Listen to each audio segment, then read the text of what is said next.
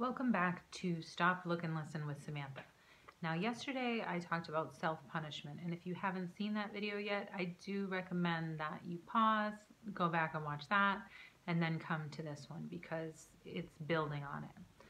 So, we talked about what self punishment is. is it's basically a form of abuse to yourself because it's excessive, okay, and it's actually hurting you. So, overeating, um, drug and alcohol use, maybe excessive shopping, isolation, whatever it is, it's been to a point where it's excessive. Now it's become a habit. Now there are serious repercussions that you may have to deal with. So you have to figure out what is the underlying emotion that you're dealing with. So I love food, okay, um, but that wasn't why I was eating the amount that I was eating. I was eating because I was unhappy in a relationship. Now, once I came to that realization, I had to affect a desire to change, which isn't always easy. That took me a lot of time too. That took me a couple years before I really had the courage to end things because it was an eight year relationship and there was a lot of history there.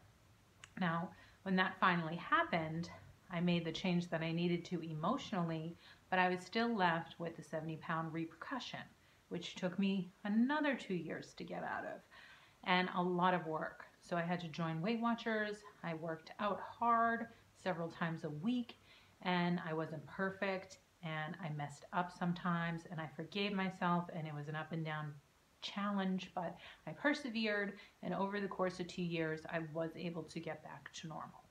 Okay, but there were people during the time that I was packing on 70 pounds that would have a genuine concern for me and they may have made comments. And those comments did not help. Actually, they did nothing but irritate me and cause me to want to eat more. Because everything you see on this side of the board is your journey. Okay? It's not anyone else's. And for anyone else to try to step in before you come to the point of realization or before you come to the point of desire to change is really going to do nothing but annoy you which is what it did for me. Um, now, once you get to the point of desire to change and change, that's when you might want to call on some help and let someone come to you for that, okay? So next video, I'm going to talk about the other end of it, which is being the bystander, which I've been in at times as well. Um, so look forward to that.